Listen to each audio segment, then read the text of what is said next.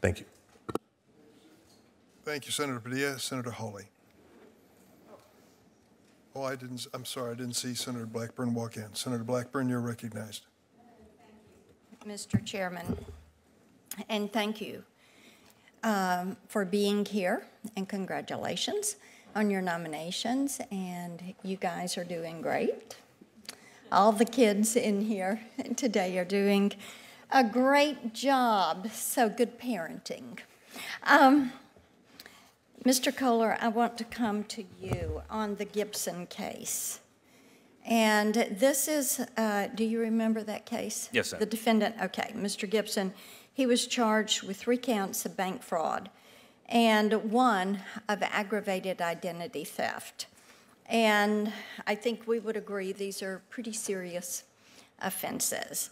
And both the government and the probation office recommended that Mr. Gibson be detained pending trial. But you decided to ignore that and to release him. And even when you did this, you noted his long arrest record and the numerous pending charges that were there and his multiple failures to appear in court. So you noted every bit of that. And then your word defining it was to say it was troubling that he had had these attempts to flee. And despite every bit of that, your recognition of it, your admission of it, your mentioning it, you decided that he should be released pending trial. And I would just like to know why you made that decision.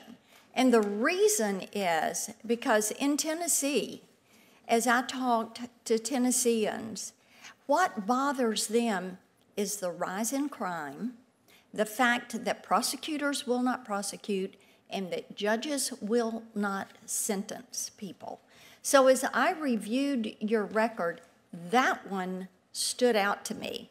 So I would like to know why you decided to release him pending trial. Senator, public safety is incredibly important. Uh, it's something uh, that I worked for um, uh, within the confines of the legal Okay, system. well then let me stop you right there. Because you also made the statement that he is, and I'm quoting you, likely a danger to the community. He may attempt to flee. So public safety was not the priority.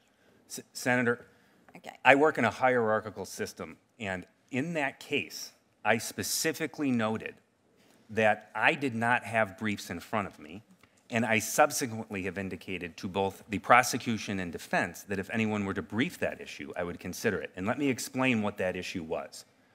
The Bail Reform Act and binding precedent tells me when I can release a defendant on conditions or when that defendant should be detained pending trial. I'm bound by the Bail Reform Act that was passed by this body. The Bail Reform Act itself is written in a way that I had to make a decision without briefs and without a good degree of case law in a quick uh, uh, as circumstance where the government was focusing on one prong. Under the Bail Reform Act, there's two things that are usually argued, whether they're in Okay, so you're saying it was a combinations of- process decision.